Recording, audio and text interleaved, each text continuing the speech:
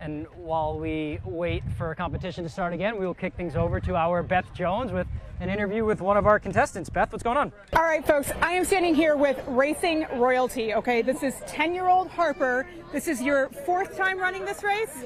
And you got a lot of crates today. Tell us about that. Um, at the beginning, it seems like you're just gonna fall when the crate goes straight down, pretty Yeah. much. But halfway through, it gets tiring because they like sink under. Sure. And then when you get to the end, it feels nice because then you can take a break. Yep. And then on the way back, my legs just got all tired and So you got what, 50 crates? 86.